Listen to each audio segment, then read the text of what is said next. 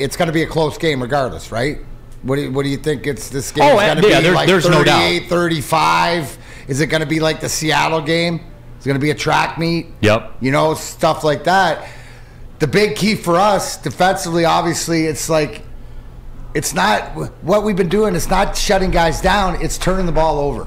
Yes. Right? It's turning the ball over, holding them to teams to three at different points and stuff like that. So we're giving up yardage, and that's cool because this defense, you know, makes things happen. So they need to make things happen. Like, again, Spenny, Spenny, I know that Kirk Cousins your guy. I know it's one o'clock. I know, you know, how you like me now and all that stuff. But uh, I got to think that what we're building here, this is this is the game. I This agree. is the game. And and as an athlete, knowing where you've been and what you've built, that this is the game that you know could propel you to the and, rest of the season. and the Lions, when they played the Vikings the first time, they lost that game because of safety play.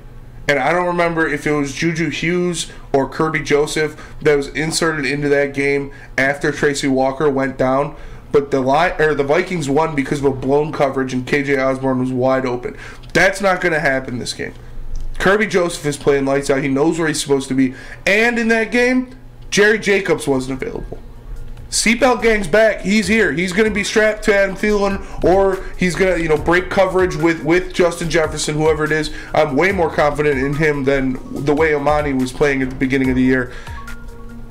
And Romeo might be back too, so that might be Oh, another. That might be another pass rusher to throw in there. I'm just saying. with uh, Romeo. I'm just saying.